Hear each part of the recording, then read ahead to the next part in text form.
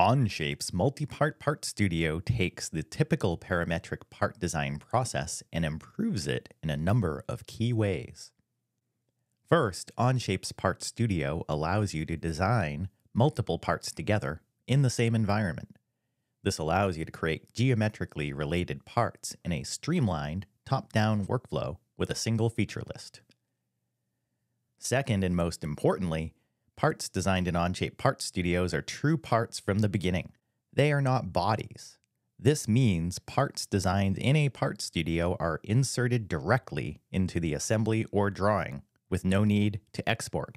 This also means that changes in the part studio are instantly reflected in the assembly without the need to manually update. Parts in a part studio can also be assigned their own materials, have metadata added, and can be independently released without any additional steps. Onshape's multi-part part studios are a new approach to the long-standing process of part design that solves many of the challenges of traditional CAD systems.